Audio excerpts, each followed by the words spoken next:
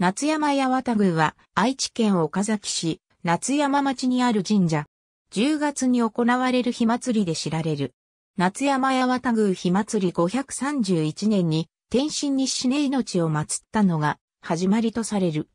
880年、王神天皇、沈島姫命、滝戸姫神、住吉大臣を合祀し、王宮八幡宮と称したが、後に現在の名前に改められたという。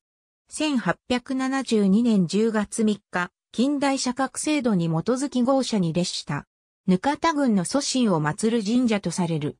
同社には元行4年8月14日の日付がある、胸札が現存しており、建立時期を示す資料とされる。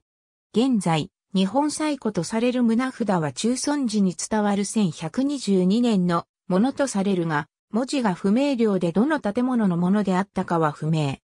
これに続き、中尊寺近藤の1124年のものも知られているが、書かれた年号だけ見れば、同社のものの方が古いため、戦前には渡辺義介による鑑定が行われたものの年代は断定されなかった。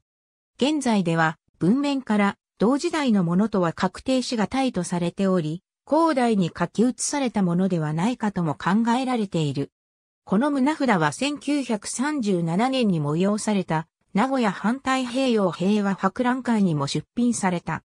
1894年、一見者流れ作りの本殿が建てられた。1935年、神楽殿が建立。2012年10月20日、新しい拝殿の竣工奉祝祭が行われた。ありがとうございます。